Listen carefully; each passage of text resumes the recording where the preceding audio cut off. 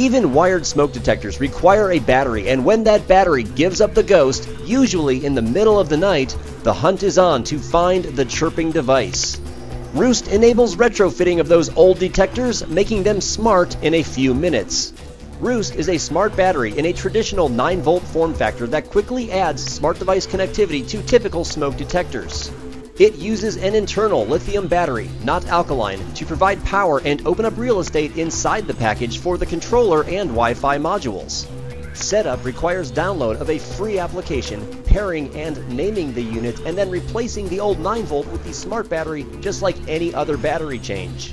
The app is where the magic happens, alerting the user to active alarms, allowing alarm management, alerting emergency services, and even battery status from anywhere away from home.